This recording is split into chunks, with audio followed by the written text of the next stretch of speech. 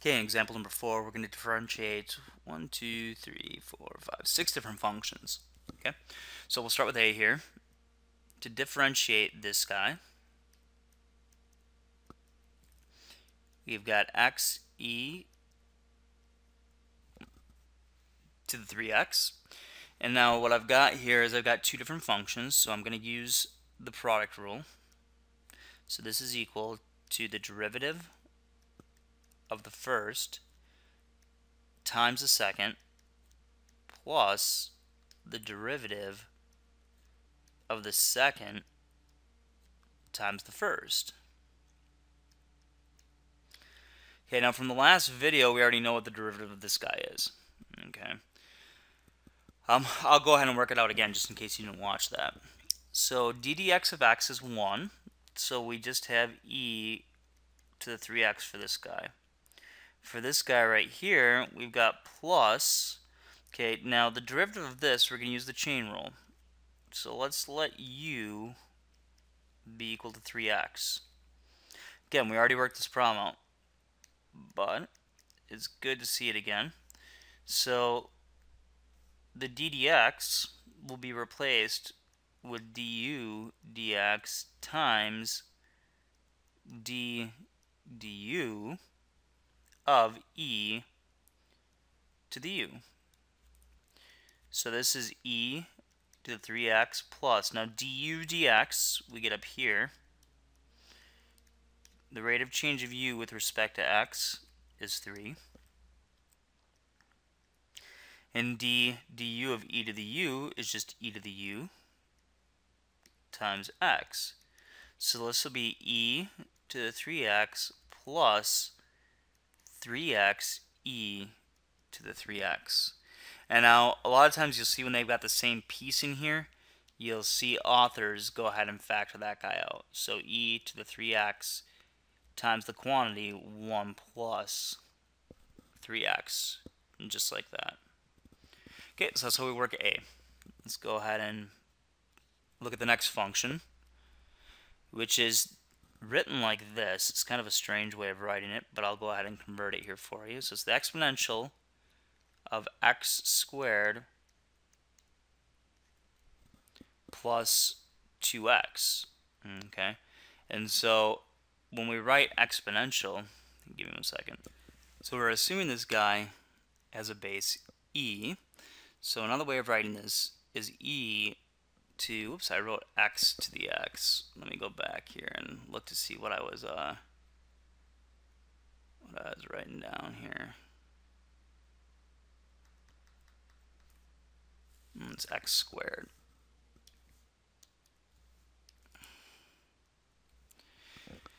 So this is really e to the x squared plus 2x. So let's go ahead and differentiate that guy. So again, we're going to make a substitution here, and we're going to call u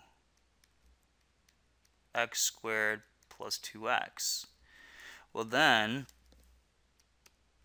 if we want the derivative with respect to x of this guy, we hit really have this. And we know that that can be replaced with this, which we know is e to the x squared plus 2x. And now we have to multiply it by du dx. And the derivative of u with respect to x is 2x plus 2. And so what we'll do is we'll just write that guy out in front.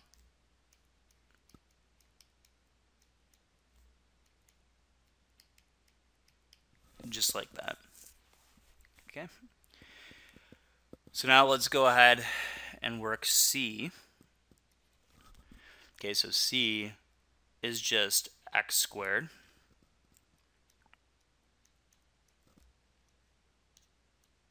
And of course, ddx of x squared, we're going to use since this is not an exponential function.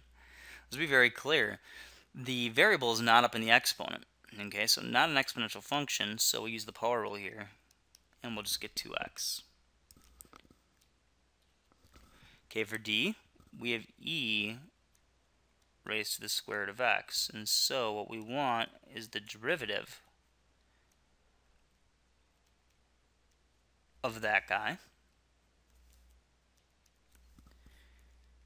Okay, and that, we're going to go ahead and make a substitution here again. Let's let u be equal to the square root of x.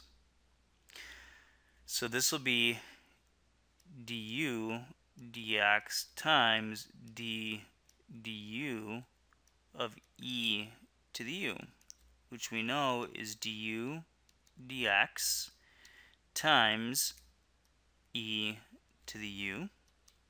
And du dx is 1 half x squared, or square root of x, like that.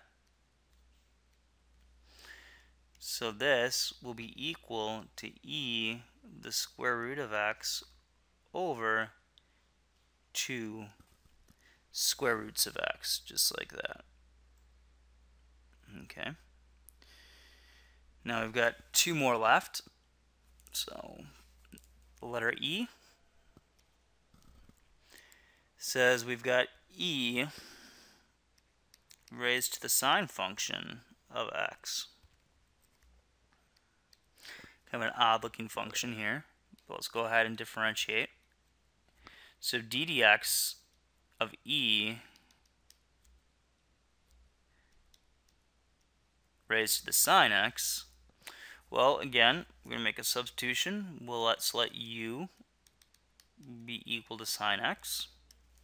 So this becomes du dx times d du of e to the u. And so now we need to know what is du dx. Well, the derivative of u, the rate of change of u, with respect to x, is cosine x. So this will be cosine x times e to the u, which is this guy right here. Okay. Now one more. F asks us to take 2 and raise it to the sine x. Now remember, when the base is not e, it changes a little bit when we differentiate. So again, we'll proceed like we normally do. We'll say, okay, let's let u be equal to sine x. So u is a function of x. Well, then we get d dx of 2 to the u. But again, we need these guys to match, so this will be du dx times d du of 2 to the u. Now we need both these pieces. So over here, we have du dx is equal to cosine x. So that's going to replace this guy right here. Now this right here, so let's just write in that cosine x. This guy right here is the natural log of 2 times 2 to the u, and u is sine x.